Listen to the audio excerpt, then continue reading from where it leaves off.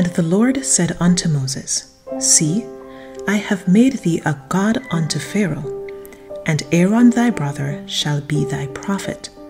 Thou shalt speak all that I command thee, and Aaron thy brother shall speak unto Pharaoh, that he send the children of Israel out of his land. And I will harden Pharaoh's heart, and multiply my signs and my wonders in the land of Egypt. But Pharaoh shall not hearken unto you, that I may lay my hand upon Egypt, and bring forth mine armies and my people, the children of Israel, out of the land of Egypt by great judgments. And the Egyptians shall know that I am the Lord when I stretch forth mine hand upon Egypt and bring out the children of Israel from among them. And Moses and Aaron did as the Lord commanded them, so did they. And Moses was fourscore years old, and Aaron fourscore and three years old, when they spake unto Pharaoh. And the Lord spake unto Moses and unto Aaron, saying, When Pharaoh shall speak unto you, saying, Show a miracle for you, then thou shalt say unto Aaron, Take thy rod, and cast it before Pharaoh, and it shall become a serpent.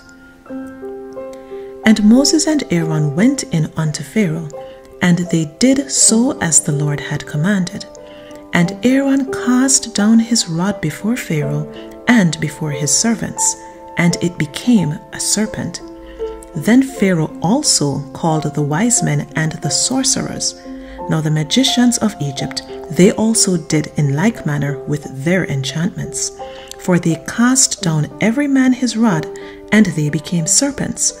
But Aaron's rod swallowed up their rods. And he hardened Pharaoh's heart that he hearkened not unto them, as the Lord had said.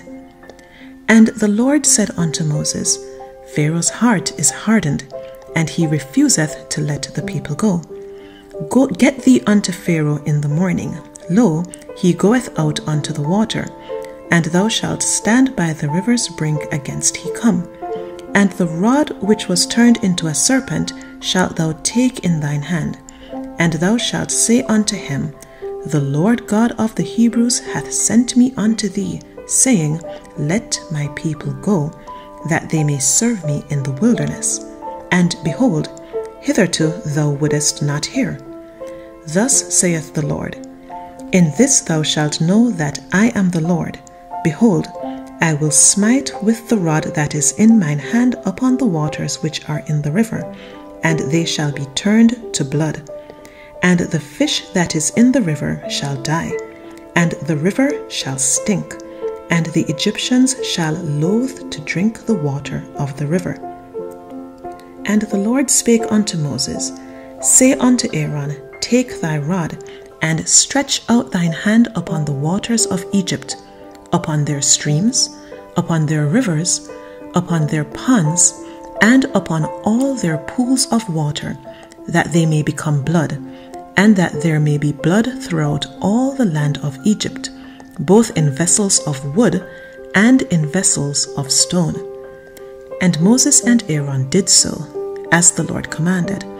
And he lifted up the rod and smote the waters that were in the river in the sight of Pharaoh and in the sight of his servants. And all the waters that were in the river were turned to blood.